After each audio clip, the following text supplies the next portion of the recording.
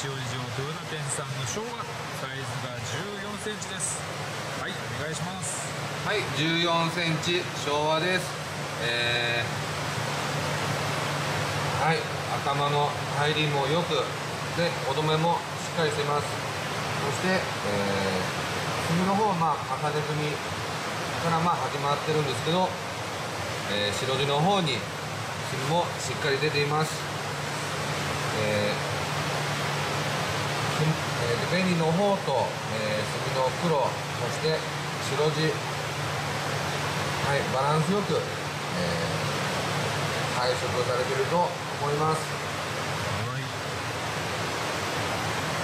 色合い。この方お願いしますはいもう少し墨が黒々してくるとまた良くなってそうですね。はい。まあ一応今日まではあったかいところにいたんで、えー、今度あの水温の低い水槽に移すので、えー、墨の方もしっかりしてくると思います。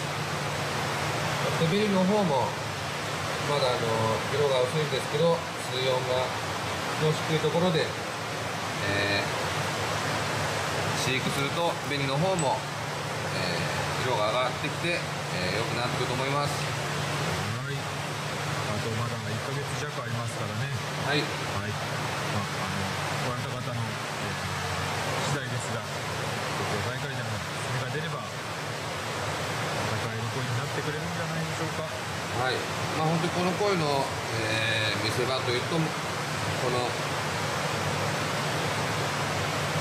はい、前半の基板と、えー、この白身のところに入った炭の間に白地が入っているので、えー、炭がもう少し締まってくると、え、この部分が、えー、結構あのこの白地が浮き上がって、えー、この鯉の魅力の一番のところになってくると思います。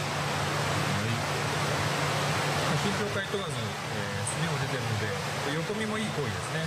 はい。水槽飼育なんかも、も向いてるんじゃないでしょうか。はい、まあ一応、親も大きいのを使って思うんで、えー、まあ立てるにもいいと思います。はい、いかがでしょうか。えー、こちら、大日豊田店さんの昭和、サイズが14センチです。